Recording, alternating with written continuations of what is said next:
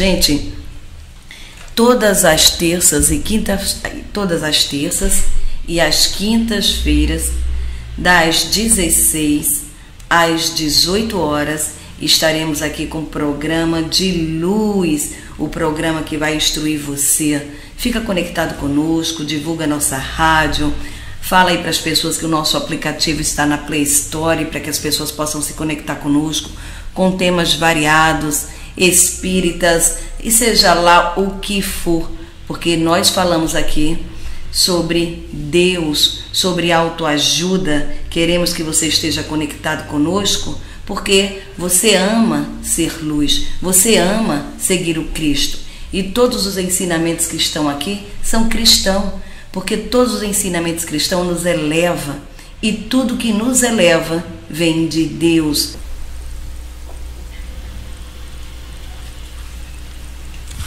Boa tarde a todos. Agradecendo a Deus essa oportunidade, aqui estamos para mais um estudo e hoje nós vamos falar sobre o pensamento e a lei de atração. Então começamos assim. Jerônimo Mendonça era paralítico e cego. E ele foi à, à procura de Chico para se despedir. Ele foi se despedir de Chico porque ele falou que ele estava já no fim da vida. Estava muito mal e que ia lá para se despedir de Chico. Quando ele chegou, aí o Chico falou para ele assim: Você sabe o porquê dessa hemorragia, Jerônimo? Ele responde: Não, Chico. Foi porque você aceitou o coitadinho. Coitadinho do Jerônimo.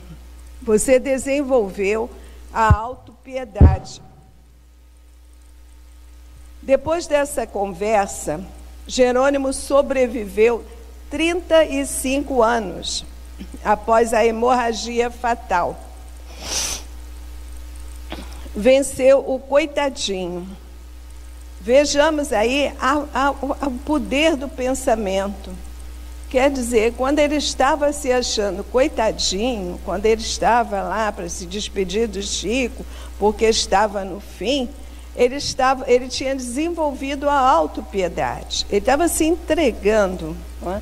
E quando o Chico fala para ele que ele desenvolveu a, a, auto, é, a autopiedade, que ele se tornou, ele, ele adotou o coitadinho, aquilo foi um choque para ele, né? e ele é, mudou o pensamento dele, e daí para frente viveu mais 35 anos para quem estava se despedindo do amigo porque ia morrer, né?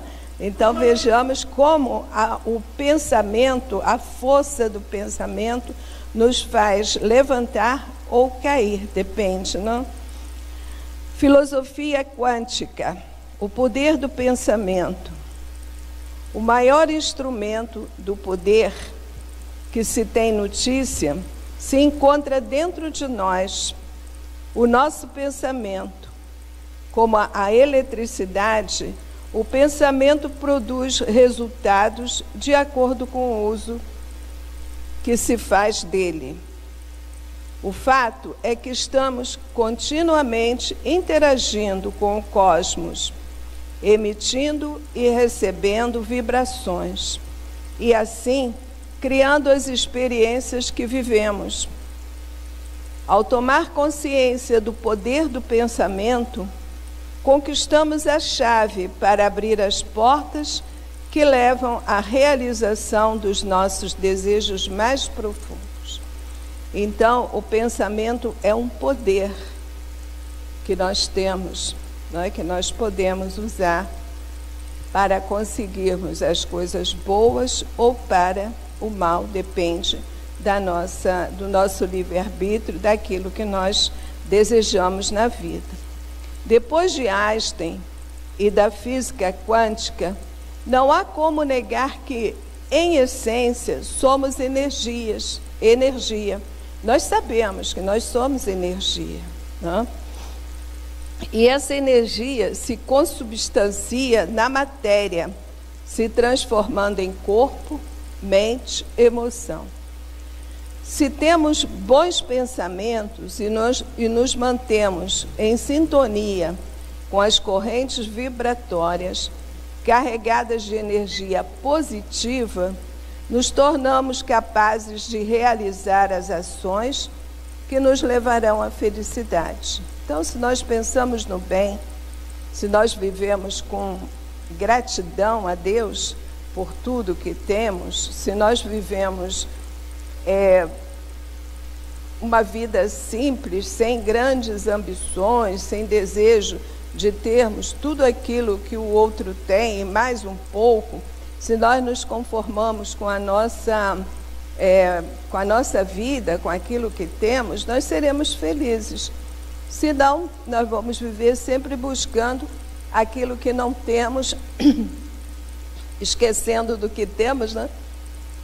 Os pensamentos nos fazem sentir emoções variadas. Essas emoções, por sua vez, influ influenciam a nossa mente, o nosso organismo e a nossa saúde, ajudando a nos manter saudáveis e bem dispostos quando são positivas, dependendo do cuidado que temos com aquilo que abrigamos em, nossa, em nossas mentes. Assim, se queremos ter relacionamentos amorosos felizes, o primeiro cuidado a ser adotado é em relação aos nossos pensamentos. Aquilo que a gente quer do outro e aquilo que a gente quer dar para o outro. Né? Se nós buscamos um relacionamento na base do interesse, de achar que o outro tem que fazer toda a nossa vontade, tudo aquilo que nós queremos, com certeza o nosso relacionamento não vai ser feliz. Né? O relacionamento amoroso é uma troca. A gente dá e recebe amor, companheirismo, entendimento. Né? E um, um, um relacionamento egoísta, com certeza, não vai, não vai nos trazer felicidade. A lei de sintonia, como toda lei espiritual, pode não ser aceita ou compreendida, mas nem por isso deixa de produzir efeitos. Assim como a gravidade atrai os corpos para o centro da Terra, os nossos pensamentos têm o poder a atrair para nós aquelas realidades que desejamos viver. É necessário reconhecer as próprias qualidades e a poten potencialidade que trazemos dentro de nós e que nos torna, torna capazes de crescer, aprender e avançar. Só é possível dar aquilo que se possui. Ninguém pode dar o que não tem, né? Apenas quem é capaz de se amar, de se valorizar, pode amar e valorizar o outro. O caminho para uma boa autoestima está em cultivar bons pensamentos e ter em mente que eles são a nossa companhia mais constante. Temos a opção de escolher a cada momento o que abrigamos em nossas mentes. Com atenção, esforço e responsabilidade, é possível detectar um pensamento menos bom na sua origem e substituí-lo por outro que irá produzir resultados positivos. O universo funciona como um espelho e tudo aquilo que transmitimos retorna para nós amplificado. Isso foi dito por Jean Klein Coraci. Então, nós precisamos vigiar os nossos pensamentos.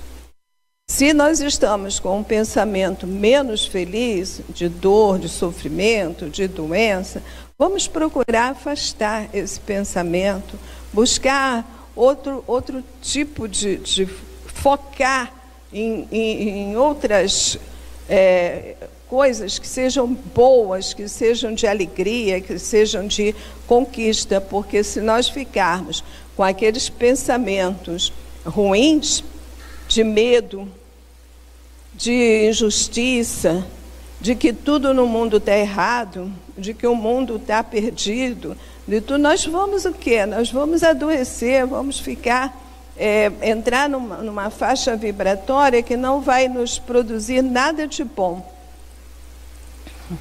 Telepatia. O que é telepatia? É a transmissão ou comunicação extrasensorial de pensamentos e sensações à distância entre duas ou mais pessoas. É a transmissão do pensamento. Atração. Ato de atrair, fazer, fazer aproximar, trazer, puxar, seduzir, encantar. Então, isso quer dizer atração. Os russos e os americanos usavam a telepatia para espionagem. Deve usar até hoje, né? Se hoje está tudo muito mais avançado e tudo mais, mesmo assim, eles, eles uh, usam a telepatia para buscar, espion... através da espionagem, descobrir quais são os planos um do outro. Né? Paranormal. Paranormal que está fora dos limites da experiência normal ou dos fenômenos aplicáveis cientificamente. O exame mais aprofundado dos fenômenos paranormais, como a telepatia, a percepção extrasensória e a telequinesis. Magnetismo é influência exercida por um indivíduo na vontade do outro. Propriedade de atrair, de encantar, de seduzir, atratividade, fascinação, encantamento. E a gente precisa ter cuidado com isso, não é? com as pessoas que têm esse, essa capacidade de, de atrair, de encantar, de seduzir, de, de nos. É, muitas vezes fazer as pessoas até submissas, né? É, seguidoras e tudo. Então, nós precisamos, é, como Kardec nos ensinou, é, a refletir a ver aquilo que é real, que é certo, que é possível, daquilo que é fantasioso, daquilo que é, é, daquilo até que não nos interessa. Pode ser ótimo, maravilhoso, mas não interessa. André Luiz, em Missionários da Luz. Os sentimentos de ódio, inveja, ciúme, egoísmo, ingratidão, a falta de perdão, as drogas, as bebidas, o sexo desregrado, criam no, no organismo bacilos psíquicos, pequeninos seres escuros, que por ausência de terminologia adequada chamamos de larvas, que consomem o organismo é um campo energético que os médicos e os exames não detectam. Está dentro da gente, mas não detectam. Mas vai consumindo a pessoa que está doente fluidicamente. Quando aparece nos órgãos, já é tarde. Já consumiu a área afetada. Quantas vezes dizemos, Fulano estava tão bem, de repente morreu com uma doença fulminante é porque esse, essas larvas, essa, essa, é, essa, esses organismos, esse, essa, eles vão consumindo fluidicamente o nosso organismo. Então, a pessoa que, que tem ódio, inveja, ciúme, a pessoa que, que usa droga, que fuma, que, que usa é, bebidas e, e o sexo é, desregrado, isso tudo, ela vai é, atraindo para o organismo dela esse, esses é, seres invisíveis, mas que vão consumindo a nossa saúde. Não é? E você vai no médico, ah, não tem nada faz exame de tudo, não aparece doença nenhuma, não aparece nada, mas aquilo está lá destruindo o nosso organismo. E de uma hora para outra a pessoa cai doente e morre. Poxa, mas morreu, fulano morreu, estava tão bem. Não estava bem, estava consumido por essas energias negativas que a, gente precisa ter cuidado e precisa afastar. Pensamento é energia. A energia, ela, ela, ela consome a pessoa, ela, ela se projeta, ela tem o poder de, de projetar a imagem, de fazer aparecer coisas, de fazer sumir coisas, a energia. Então a gente tem que ter muito cuidado com os pensamentos. Né?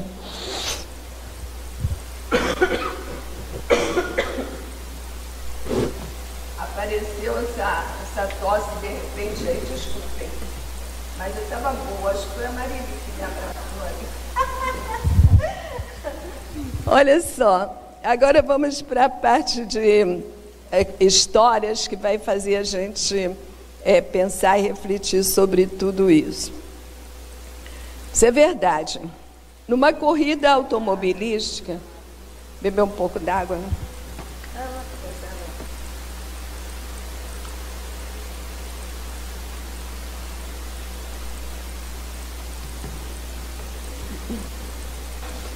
Numa corrida automobilística, percebendo certo desvio no automóvel, um piloto conseguiu ordenar à máquina que se mantivesse em sua trajetória, a ponto de vencer a corrida. Então, quando ele percebeu que estava dando problema no carro, ele conseguiu dar, dar ordem para aquele mecanismo para que é, se mantivesse, que ele conseguisse ir até o fim. E foi até o fim e venceu a corrida. Quer dizer, ele não se deixou dominar pelo medo, pela insegurança, por nada. Ele lutou contra aquilo, né? Eu estava lendo isso, estava até lembrando que uma vez aconteceu também uma coisa parecida comigo. Eu entrei no carro, liguei o carro, nada do carro ligar. Aí liguei, aí desliguei. Aí ligava o carro, nada. Eu atrasada para ir trabalhar e, e, nada. Aí tornei a ligar e desligar e nada. Aí o que, que eu fiz? Desliguei o carro, respirei fundo, descansei um pouquinho, fiz uma prece. Acabei de fazer a prece, liguei o carro, o carro pegou e fui embora. Quer dizer, só, não adiantava nada eu ficar ali me, me com, com pensamento, ah, estou atrasada, não sei o que, não sei o que, ela não ia resolver, mas resolveu. E essa história aqui desse piloto me fez lembrar essa minha história. A gente é, conhece o, o cantor, o Elimar Santos, todos conhecem, né? Ele vem até aqui em Petrópolis para cantar lá no Petropolitano, acho que é no Petropolitano.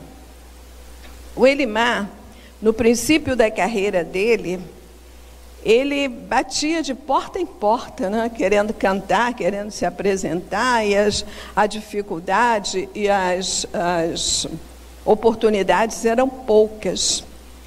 Então ele teve a coragem de alugar o Canecão, que era uma casa de show lá no, em Botafogo. Ele alugou essa casa de show com o dinheiro dele, com sacrifício, sem ter sem poder, foi lá, alugou e saiu distribuindo os convites para os amigos, amigos dos amigos dos amigos, encheu o canecão. E, e ali ele se projetou. Conhece essa história dele? Ele ali se projetou, se projetou e se tornou um grande cantor, um, um, um sucesso que tem até hoje, né? E tudo quer dizer, é a força do pensamento, é a energia positiva, é ele acreditar nele, ele acreditou nele. Ele sabia da capacidade dele, ele sabia do que ele. E ele foi à luta e conseguiu. E é isso que, que, que a lição de hoje, o pensamento e a lei da atração. É, é, é essa mensagem que a gente quer passar, de que a pessoa pode, a pessoa tem que ter é, é, fé, força, segurança e a luta. Jesus disse: Vós sois deuses. Tudo aquilo que eu faço, podeis fazer e ainda melhor. ainda mais, não foi? Então, quando o, o, os discípulos perguntaram a ele, Senhor, por que não conseguimos curá-lo? Quando um cego pediu ajuda, né? e ele disse, Senhor, por que não podemos curá-lo? Jesus disse, por causa da sua pouca fé. Eles tinham a capacidade, como foi demonstrado depois na, na vida de cada um deles e tudo, eles tinham a capacidade, só tinham o quê? O medo, a insegurança, né? a fé ainda não tão concretizada. E Jesus disse que tudo que ele fazia, nós podíamos fazer. E nós sabemos disso.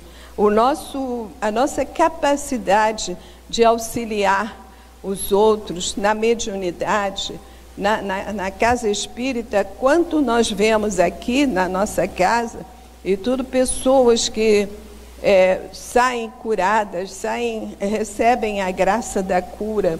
Isso é possível? É possível.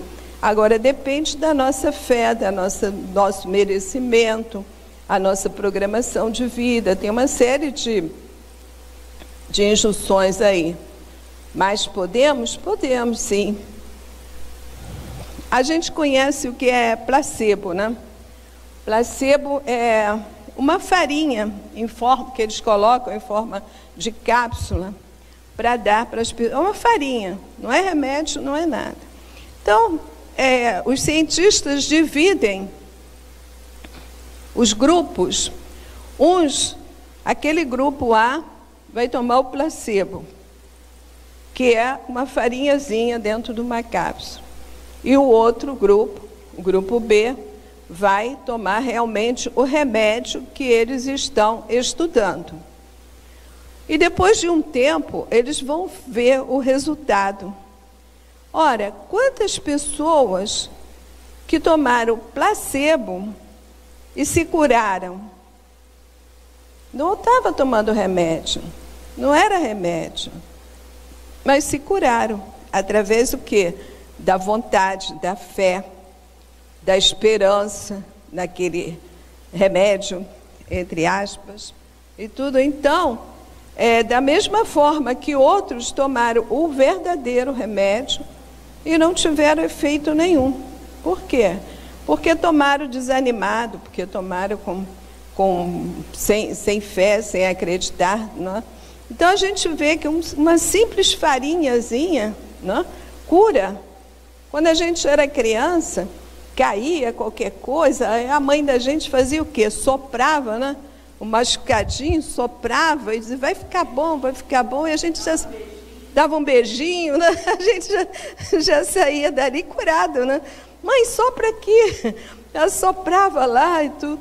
Então, quer dizer, é, é o nosso pensamento, é, é a, nós dirigirmos o nosso pensamento para aquilo que é positivo, que a gente quer.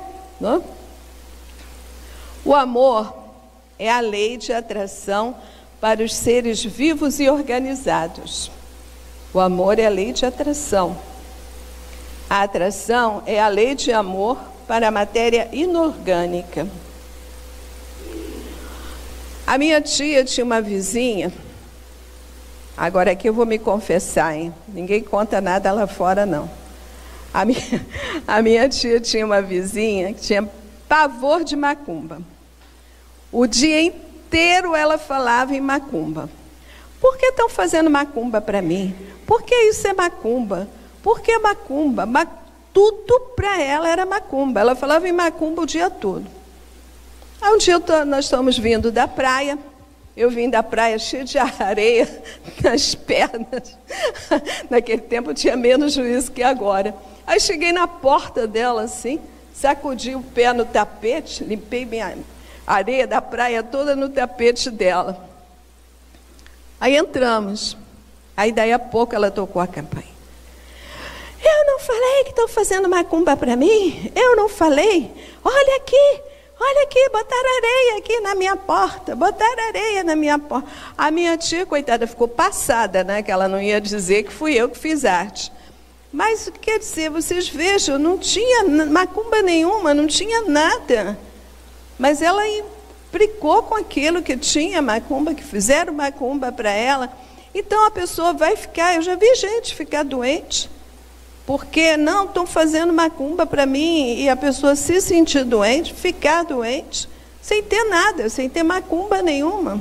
Eu tinha uma vizinha lá que vivia dizendo que tinha feito macumba para ela, que tinham feito isso. Fulana, não fizeram não, minha filha, não se preocupa que o teu nomezinho está na, na, corrente lá do centro. Você está protegida pelo, pela corrente do centro. Não tem macumba, não vai ter macumba para você. Passou, uns dias, ela veio. Eline, tira meu nome de lá. Tira meu nome de lá, porque não está me fazendo bem. Quer dizer, ela queria alguma coisa, entendeu? Alguma coisa para ela botar a, a culpa eu, tá bom, quando chega lá hoje, eu vou lá tirar teu nome da, da corrente. Então, primeiro porque estavam fazendo macumba. Depois é porque o nome estava na corrente lá do centro. Então, são essa, essa, esses pensamentos, essa, essa, essa energia negativa que muitas vezes nós nos deixamos, por, por invigilância, nos deixamos levar e que, na realidade, prejudica a nossa vida, não é?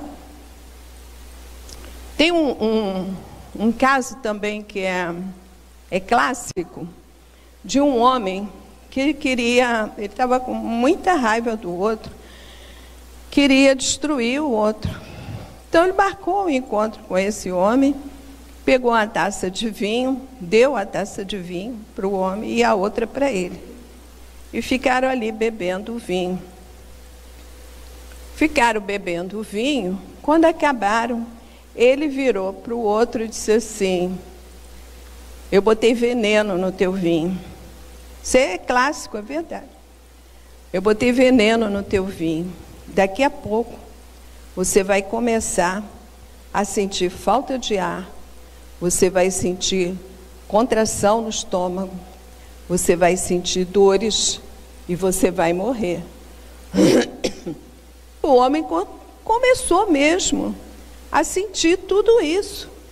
Ele começou a sentir a ansiedade, a falta de ar, não tinha nada. O vinho era o mesmo que ele tinha bebido. Ele bebeu um cálice, deu um cálice para outro. Só que ele sugestionou o outro.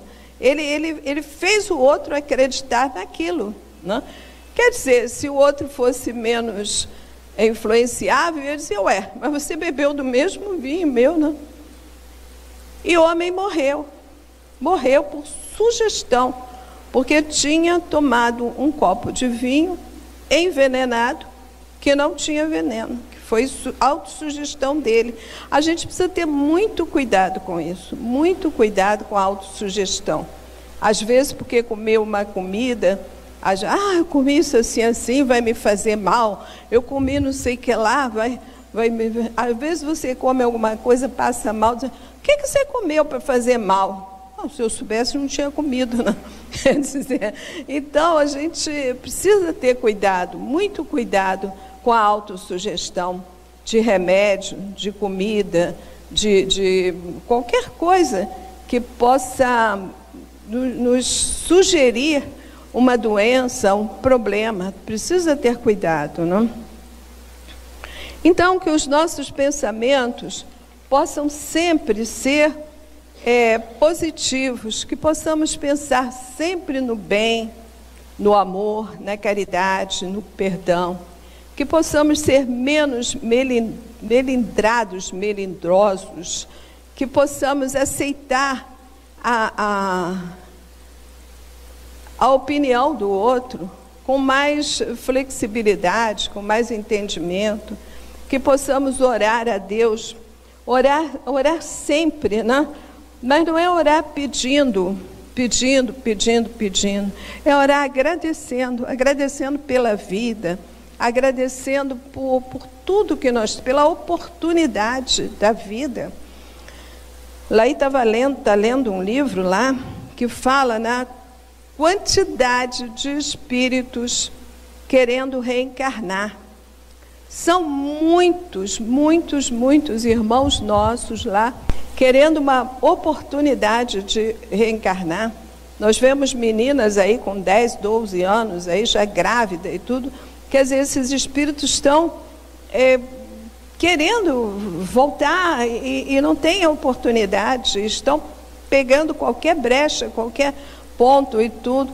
E nós aqui reclamando da vida, reclamando das coisas, e reclamar atrai o que? O mal. A minha tia tinha 83 anos já quando ela faleceu. Ela tinha é, asma, tinha bronquite, vivia com aquela bombinhazinha, né? E a gente perguntava, tia, como é que a senhora está? Estou ótima. Eu nunca vi a minha tia com aquela bombinha na mão, bombeandozinho. Eu nunca vi ela dizer, ah, não estou bem. Não, ela estava sempre bem, ótima. Não era bem, era ótima. Como é que a senhora está, tia? Estou ótima. Estou muito bem, estou ótima.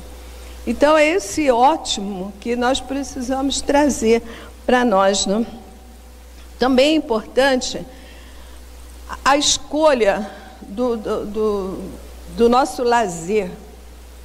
Da mesma forma que nós não colocamos para dentro do nosso organismo, nós não colocamos na nossa boca um, uma comida estragada, ruim, nós também não podemos colocar para nossa mente, para nosso para nossa energia, é, é filmes, novelas, essas novelas que só tem é, enaltece o bandido, né? E, e, o mocinho fica lá, coitado, em último lugar.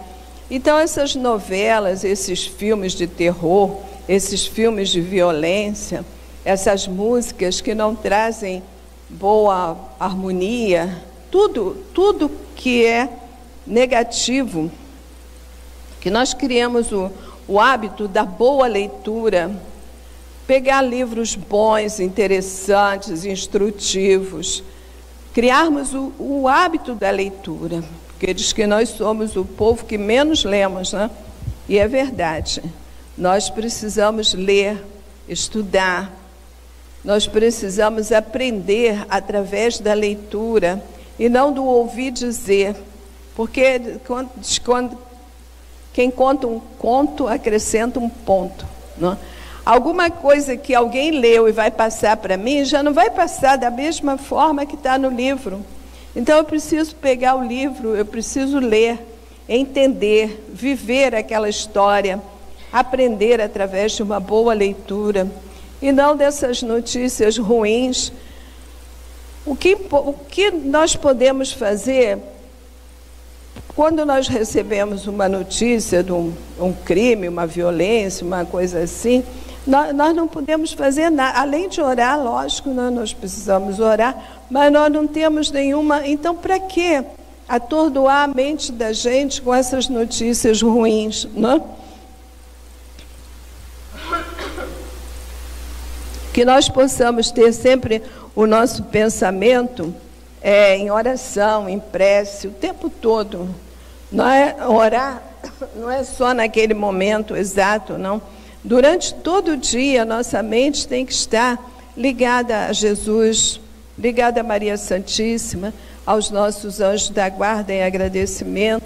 O tempo todo nós precisamos estar é, em prece, aquela prece interior de agradecimento, de bem. Não? Nós temos aqui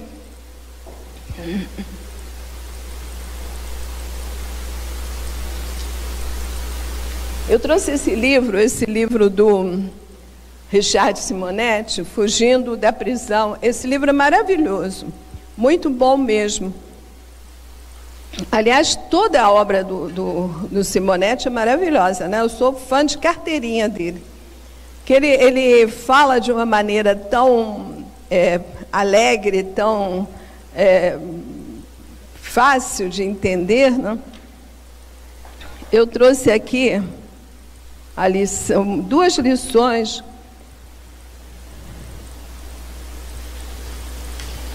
que eu vou passar para vocês.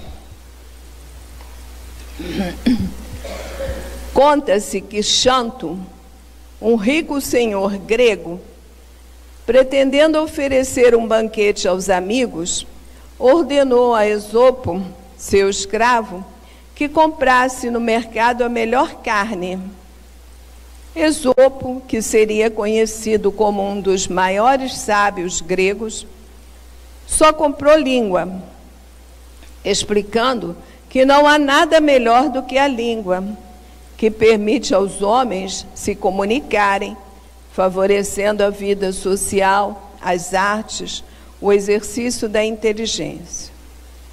Xanto resolveu testar Esopo e ordenou-lhe ordenou no dia seguinte que comprasse o que houvesse de pior. Para sua surpresa, o escravo tornou a trazer línguas e explicou que a língua é a mãe de todas as brigas, das divisões, das ofensas, das fofocas, das separações entre membros de uma família, de grupos sociais, de países, de povos. Realmente, a língua que representa a palavra falada pode ser algo muito bom ou muito ruim. Com ela podemos amaldiçoar ou abençoar, insultar ou elogiar, humilhar ou exaltar, dependendo do uso que façamos dela. O mesmo ocorre com um dom que todos possuímos, o pensamento. Pensando, podemos viajar, sonhar, desenvolver ideias, construir um mundo de paz e alegria em nosso coração. Mas também podemos ficar presos em escuras celas de ódios e rancores, mágoas e tristezas, vícios e mazelas, temores e ansiedades. A pior prisão, por isso, não é feita de grades, ela está em nossa consciência, dentro de nós mesmos quando nos prendemos a pensamentos viciosos e ideias más que nos fazem profundamente infelizes.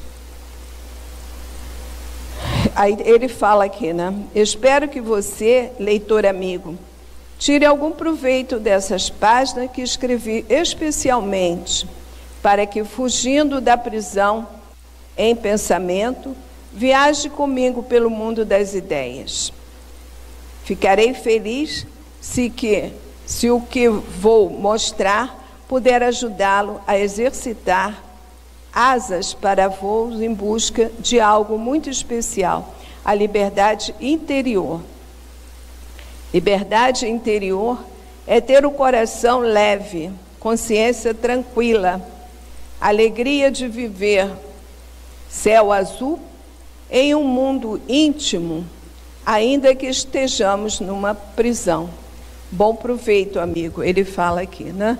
Então, é o nosso pensamento, com ele nós podemos viajar, nós podemos sonhar, nós podemos ver, é, viver coisas maravilhosas. Ou então ficar, como ele diz aqui, na prisão, a prisão sem grade, aquela prisão íntima que nos faz é, sofrer o dia a dia, que nos faz é, infelizes o tempo todo. Aqui tem uma outra lição. O segredo da salvação. Um homem esteve perdido por uma semana num deserto, sem água, sem alimentos. Salvo por uma patrulha que o procurava, foi imediatamente levado ao hospital. Embora enfraquecido, estava bem.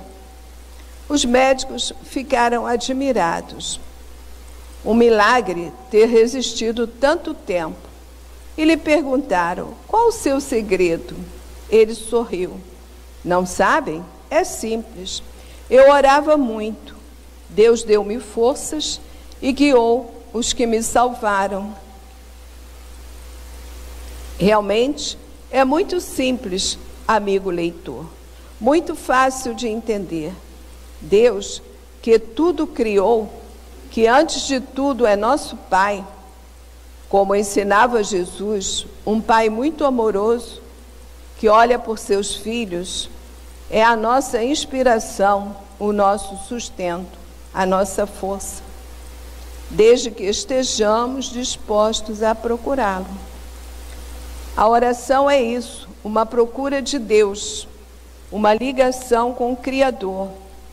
Quem cultiva a oração é mais forte, é mais resistente ao mal e aos sofrimentos, tem melhor orientação, enfrenta melhor seus problemas.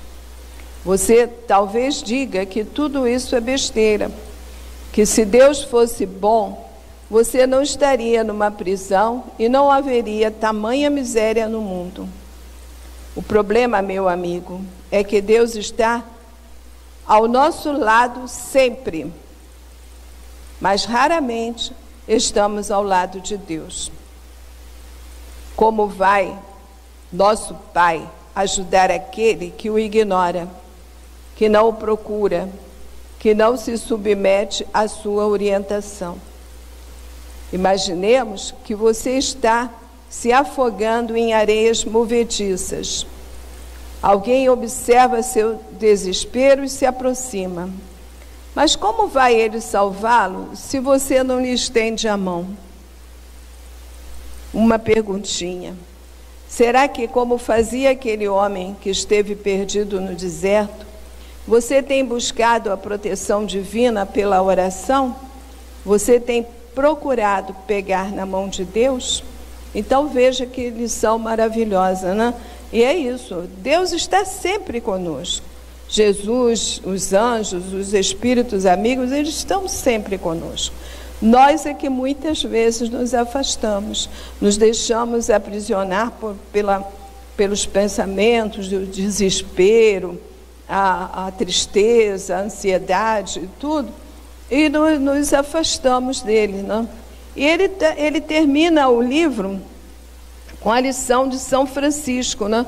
Eu acho a lição de São Francisco uma, um roteiro de vida. Se a gente lê todo dia a oração de São Francisco, se a gente procurar seguir o que diz aqui na oração, né? É, é fazei de mim um instrumento de vossa paz. Não, é, é, é, é, linda essa, essa oração de São Francisco. Então, acho que a gente podia ter na, na cabeceira da nossa cama é, a oração de São Francisco e toda noite ler para que a gente possa